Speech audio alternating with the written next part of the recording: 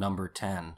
Carl Jung and the Scarab. Psychologist Carl Jung introduced the concept of synchronicity. Causality is what connects one process or event to another, where the first is partially responsible for the second, and the second is partially dependent on the first. If events occur with no causality, yet seem to be meaningfully related, this is considered synchronicity. The most basic definition of synchronicity would be a meaningful coincidence. In his book Synchronicity, Jung gave this example of a synchronous event. Jung was treating a young female patient whom he considered to be psychologically inaccessible. The problem was that the woman was too rational, and thus he could not get her to open up. Jung wrote, after several fruitless attempts to sweeten her rationalism with a somewhat more human understanding, I had to confine myself to the hope that something unexpected and irrational would turn up, something that would burst the intellectual retort into which she had sealed herself. One day the woman was telling Jung about a dream she had had the night before, in which someone had given her a golden scarab. While she was telling him about the dream, Jung heard something gently tapping on the window behind him. He looked and saw a large flying insect banging against the window, obviously trying to get into the room. He opened the window and caught the insect in his hand as it flew in. It was a large scarab. He showed it to the woman and said, Here is your scarab. According to Jung, the event had the desired effect of breaking her intellectual resistance, and he was able to treat her from then on. Number 9. The Plum Pudding. French poet Émile Deschamps wrote in his memoirs about a bizarre coincidence he had experienced. As a child in Orleans in 1805, he had been given a gift of plum pudding by a man named Mr. de Fontgibaud.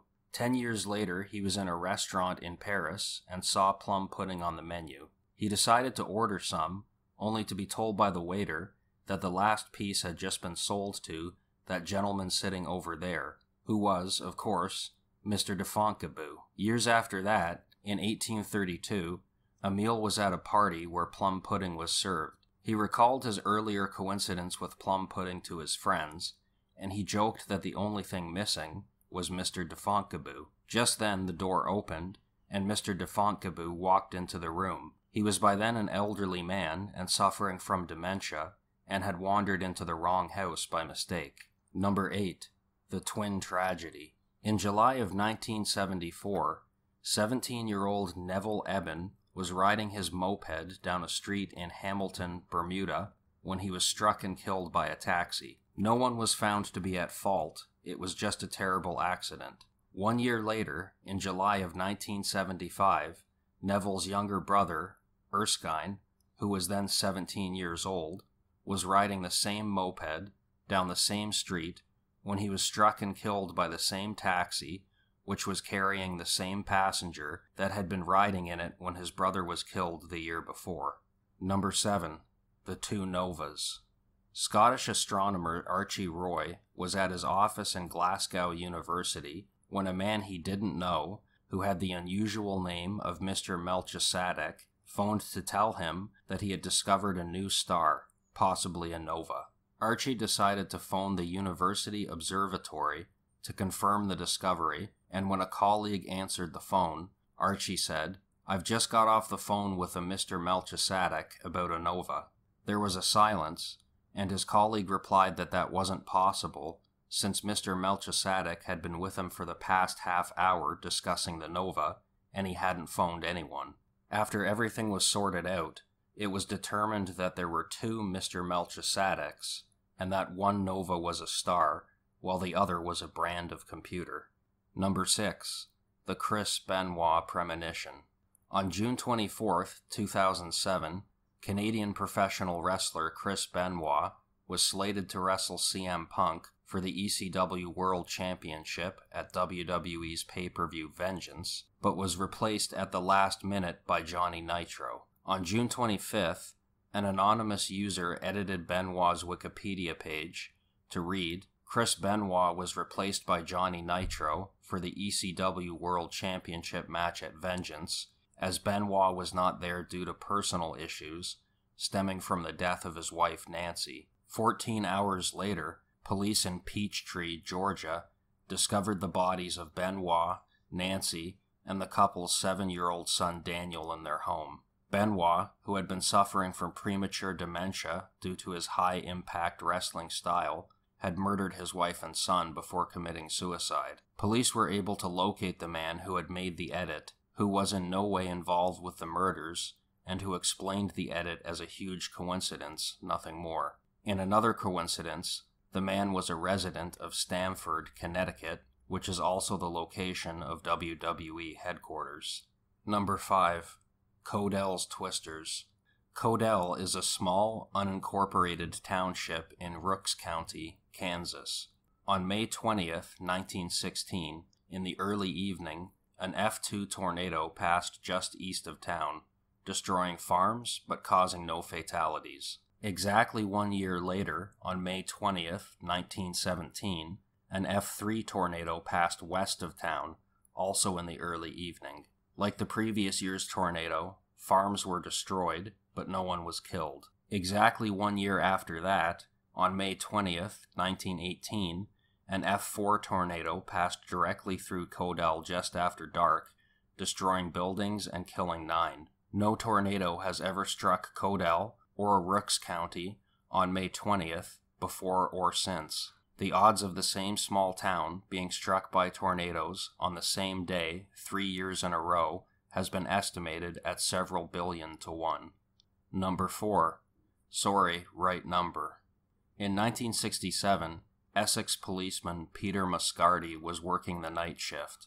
His friend would sometimes call him on his break, and when the station changed its phone number, Moscardi mistakenly told him that the last four digits were 0166 rather than the actual number, which was 0116.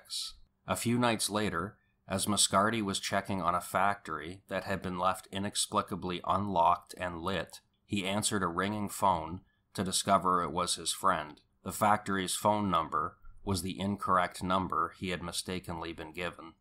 Number 3. The Lone Gunmen. The Lone Gunmen was a short lived spin off of The X Files, starring Mulder's three conspiracy theorist friends. Today it is mostly remembered for its pilot episode, which first aired on March 4th, 2001. In the episode, a hacker working for a major arms dealer takes control of the autopilot system of a passenger airplane with the intention of crashing it into the World Trade Center blaming it on a Middle Eastern dictator, and thus selling more arms to the government when they go to war. Needless to say, when the 9 11 attacks occurred just over six months later, those who had seen the episode were shocked by the synchronicity. Number 2. Dennis the Menace. On March 12, 1951, Hank Ketcham's Dennis the Menace comic strip debuted in American newspapers. Across the ocean in the United Kingdom, on the very same day, British cartoonist David Law first published a comic strip featuring his most famous creation, Dennis the Menace. There is no indication that either man knew, or had any way of knowing, that someone else across the world was working on a comic strip of the very same name. No lawsuits were filed on either side, each man amicably continued their separate comics, and both characters became popular with their respective audiences. Number 1. The Erdington Murders. On May 27, 1817, 20 year old Mary Ashford was found raped and murdered in a sand pit in Erdington, England.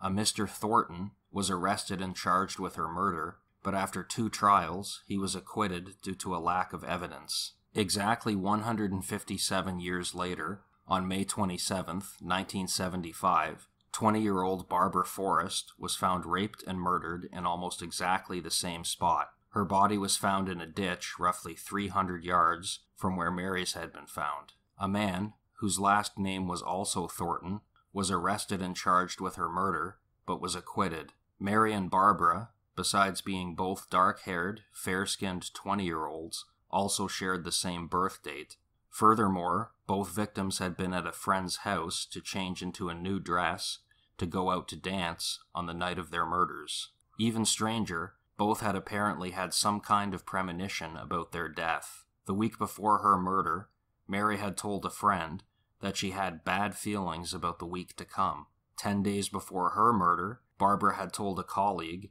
This is going to be my unlucky month. I just know it. Don't ask me why. Neither woman's murder has ever been solved. Thanks so much for watching today's video. Hopefully, you found it interesting. If you did, please give it a thumbs up, check out my other videos, and subscribe.